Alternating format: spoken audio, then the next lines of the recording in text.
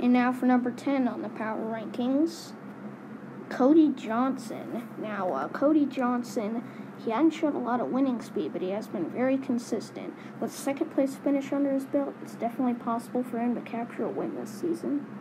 Ninth on the power rankings is Denny Hamlin.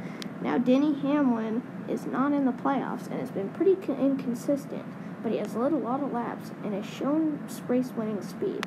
Can he capture a win before the season ends? Eighth in the power rankings is Brad Keselowski. Now, Brad Keselowski isn't far out of the next round, only 11 points out. All it would take is a good finish, and he could close the gap. Seventh in the power rankings is Kyle Busch.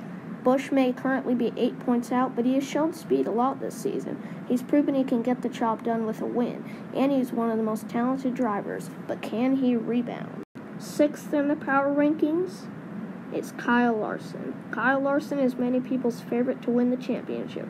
He didn't start off the season too well, but lately he's been pretty good. He sits 15 points above the cutoff. Fifth in the power rankings is Erik Jones. Erik Jones is in a good position to make the next round, sitting 21 points above the cutoff. He's won a race this season and has led a lot of laps. Can he win the championship? In fourth in the power rankings is Gavin Funk.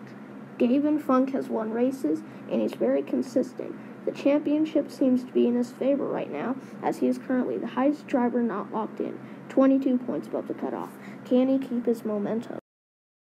Third in the power rankings is Alex Bowman. Alex Bowman has been the talk of the town lately, scoring top five after top five. He won the Daytona 500 to start off the season, and he's been very consistent.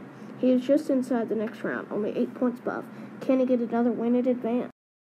Second in the power rankings is William Byron. William Byron is young, but he has raced like a veteran. He has yet to win a race this season, but he's been so close many times. Will he change that within the remainder of the season?